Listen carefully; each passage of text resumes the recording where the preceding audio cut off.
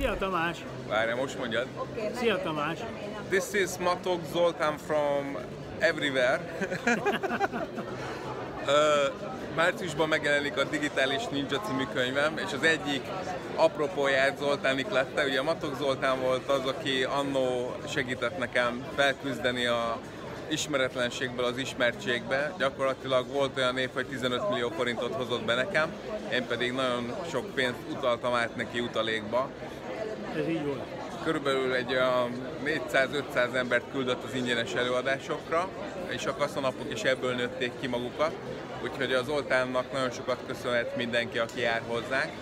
És tőle volt az első olyan, nem igazából kettő dolog volt, hogy egy, állandóan ilyen mindenfajta kütyűvel mászkált, legmodernebb számítógép, Palm Top, amikor még nem volt a mobiltelefonon számítógépes lehetőség, meg szövegszerkesztés, és ő volt az, aki először mondta azt, hogy úgy kell csinálni vállalkozást, hogy adómentesen és világjárva, vagyis ő, az ő esetében ez egy szlovák cég volt, dél-afrikai kiküldetéssel, és mit tudom én, Angliába lakva,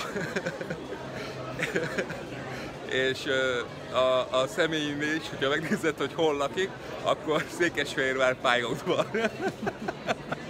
szóval Vatak Zoltán az első magyar digitális ninja, ő adta el a HP csúcsminőségű számítógépeit Magyarországon. Hány, hánytól? Hánytól?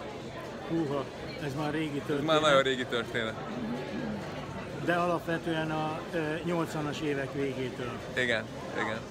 Úgyhogy az a helyzet, hogy Zoltán volt az első digitális ninja, és a márciusi kaszanapon róla is olvashatsz majd a könyvemben. Szuper, köszönöm.